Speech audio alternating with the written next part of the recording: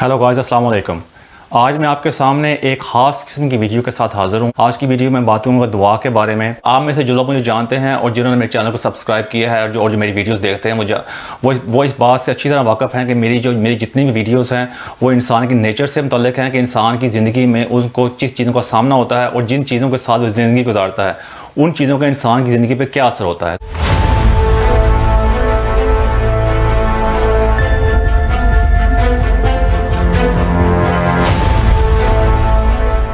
आप में से अक्सर लोग ये भी कह रहे होंगे कि ये अब, ये हमें बताएगा दुआ के बारे में।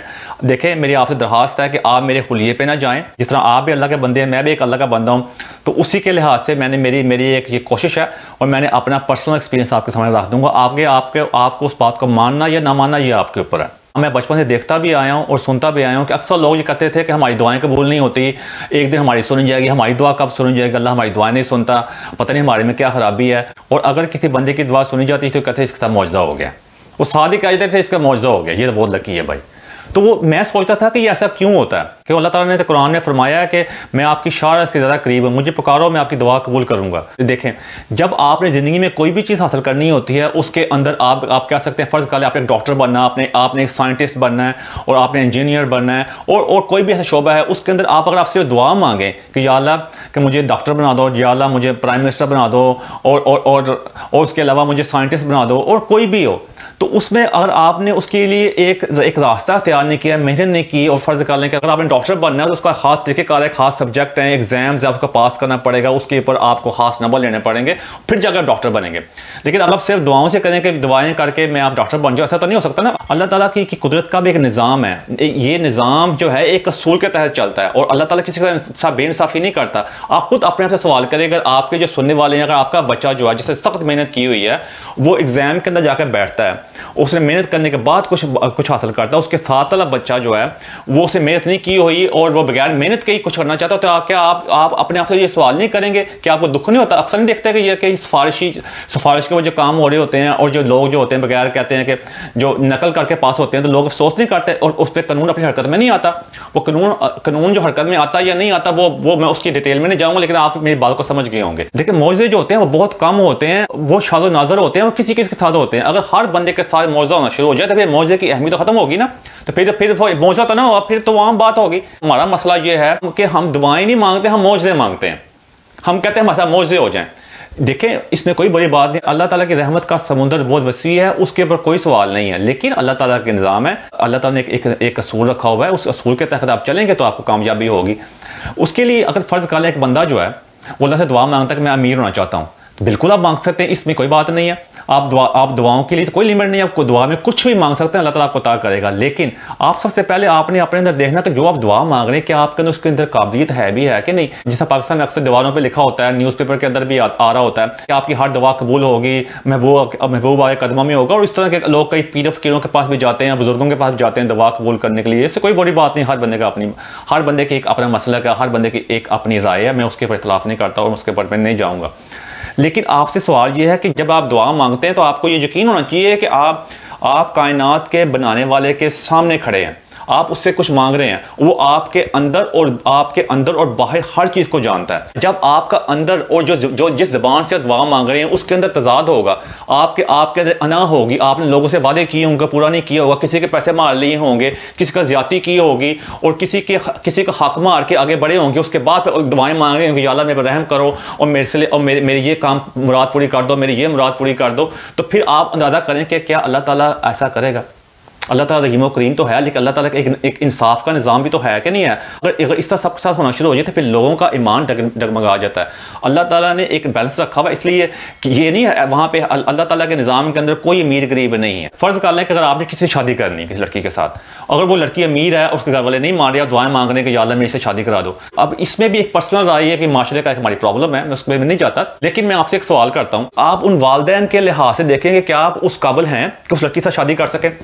क्या आप और आपकी अपनी पर्सनल हैसियत क्या, आपकी एजुकेशन क्या है, आपका बैकग्राउंड क्या है, कि आपका बिज़नेस आपकी जॉब क्या आप इस काबिल हैं कि आप उस, उसके वालदेन के पास जाके और रिश्ता मांग भी सकें? ये आप अपने, आपने अपने आप से सवाल करना है। मेरे कहने का मतलब यह है कि पहले आपने अपनी काबिलियत भी देखनी है।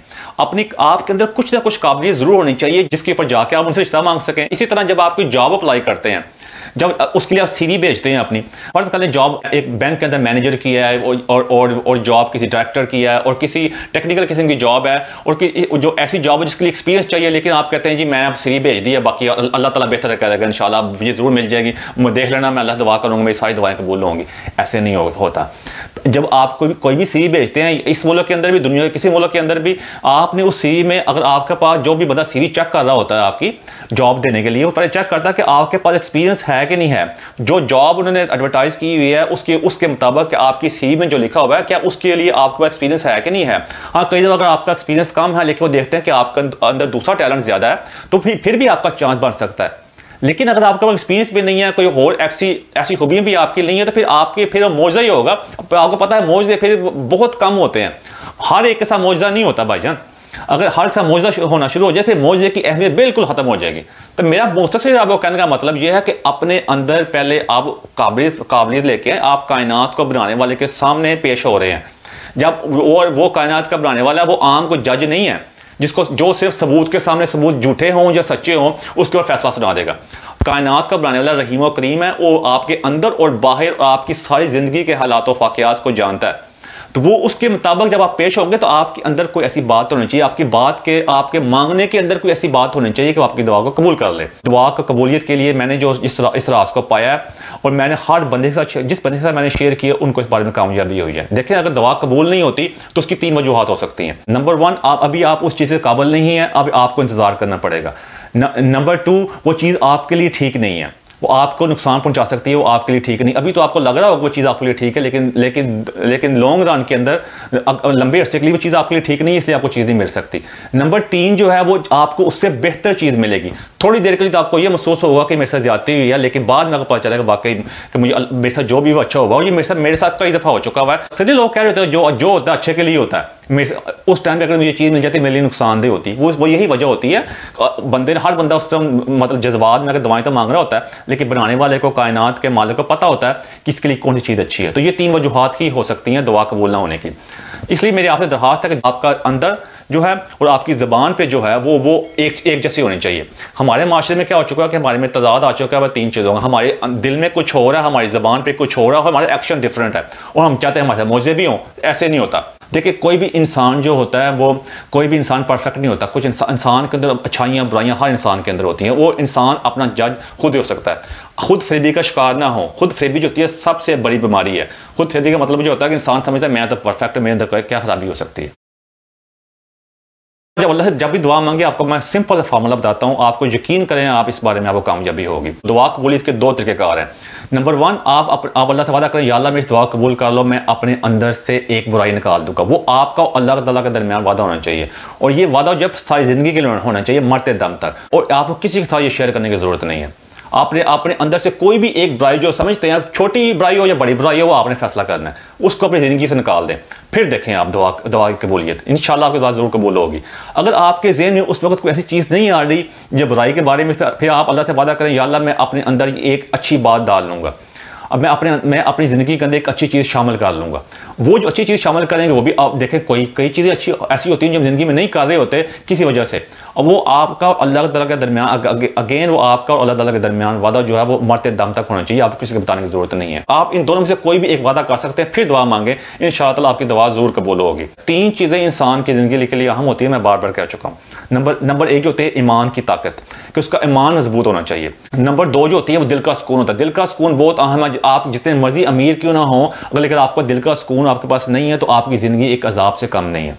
नंबर तीन जो होती है अच्छी सेहत होती है। अच्छी सेहत जो होती है, वो चीज़ की जामन होती है कि आप कोई भी काम जो होता है, उसको उसको मेहनत साथ कर सकते हैं और अपने हवाब जो हैं, अपने गोल्स को हासिल कर सकते हैं और एक अच्छी खुशहाल ज़िंदगी गुजार सकते हैं। ये तीन चीज़ें बहुत अहम होती हैं। इसलिए जब भी दुआ मांगें, पहले उन दो चीज़ों को देखें, आपकी दुआ ज़रूर कबूल होगी, दूसरी अपनी काबिलियत को भी देखें। मेरी कोई ऐसी बात जो आपको पसंद ना ये माता चाहता हूँ मैं। Thank you very much